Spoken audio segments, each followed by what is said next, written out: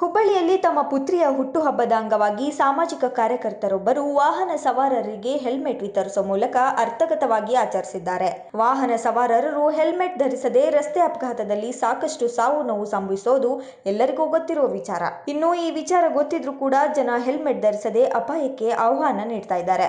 ಇದನ್ನು ಮನಗಂಡ ಹುಬ್ಬಳ್ಳಿಯ ಸಾಮಾಜಿಕ ಕಾರ್ಯಕರ್ತ ಮಂಜುನಾಥ್ ಹೆಬಸೂರು ಎಂಬುವರು ವಾಹನ ಸವಾರರಿಗೆ ಹೆಲ್ಮೆಟ್ ವಿತರಿಸಿದ್ರು. ತಮ್ಮ ಪುತ್ರಿಯ ಹುಟ್ಟುಹಬ್ಬದ ಅಂಗವಾಗಿ ಸುಮಾರು ಇಪ್ಪತ್ತೈದು ಹೆಲ್ಮೆಟ್ ಹಂಚಿದ ಮಂಜುನಾಥ್ ಕಾರ್ಯಕ್ಕೆ ಸಂಚಾರ ಪೊಲೀಸರು ಶ್ಲಾಘಿಸಿದರು. ನಗರದ ಚೆನ್ನಮ್ಮ ವೃತ್ತದಲ್ಲಿ ಹೆಲ್ಮೆಟ್ ಇಲ್ಲದೆ ಸಂಚರಿಸುತ್ತಿದ್ದ ಬೈಕ್ ಸವಾರರಿಗೆ ಹೆಲ್ಮೆಟ್ ವಿತರಣೆ ಮಾಡಲಾಯಿತು. ಇನ್ನು ಮಂಜುನಾಥ್ ಕಳೆದ ವರ್ಷವೂ ಕೂಡ ಇದೇ ರೀತಿ ಇಪ್ಪತ್ತೈದು ಹೆಲ್ಮೆಟ್ ಹಂಚಿದ್ರು.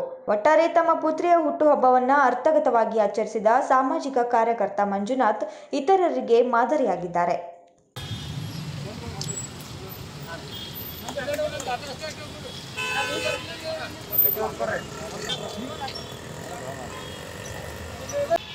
ಏನಿಲ್ಲ ನಾನು ಮಗಳ ಮದುವೆ ಸಲುವಾಗಿ ಮಾಡ್ತಿದ್ದಾರೆ ಹೌದಾ? ಎಷ್ಟೋ ಜನ ಮನೆಗೆ ಹೆಲ್ಮೆಟ್ ಇರ್ತವೆ ಆದ್ರೂ ಅವರು ಮಕ್ಕಳು ಒಂದು ಸರ್ ಸಾರ್ವಜನಿಕರ ಕಾಳಜಿ ಸರ್.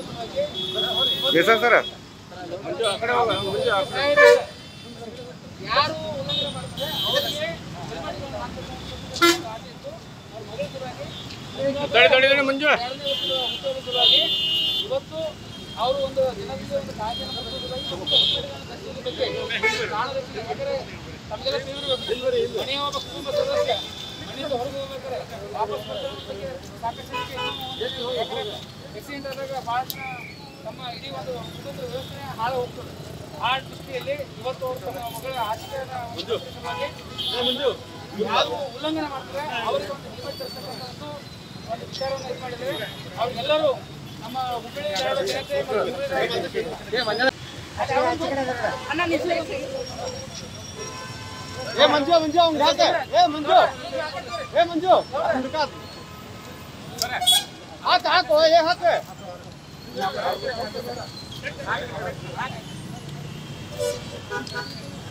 ಓಕೆ ಎಸ್ ನೋಡಿದ್ರಲ್ಲ ಈ ಸ್ಟೋರಿ ಬಗ್ಗೆ ನಿಮ್ಮ ಅಭಿಪ್ರಾಯ ಏನು ಅಂತ ಕಾಮೆಂಟ್ ಮಾಡಿ ತಿಳಿಸಿ. ಹಾಗೆಯೇ ನೀವಿನ್ನೂ ನಮ್ಮ ಚಾನಲನ್ನು ಸಬ್ಸ್ಕ್ರೈಬ್ ಆಗಿಲ್ಲ ಅಂದರೆ ಈ ಕೂಡಲೇ ಸಬ್ಸ್ಕ್ರೈಬ್ ಆಗಿ ಹಾಗೇ ಫೇಸ್ಬುಕ್ಕಲ್ಲಿ ನೋಡ್ತಿದ್ರೆ ನಮ್ಮ ಪೇಜನ್ನು ಫಾಲೋ ಮಾಡಿ. ಇದು ಕರ್ನಾಟಕ ಟಿ ವಿ ಕನ್ನಡಿಗರ ಧ್ವನಿ.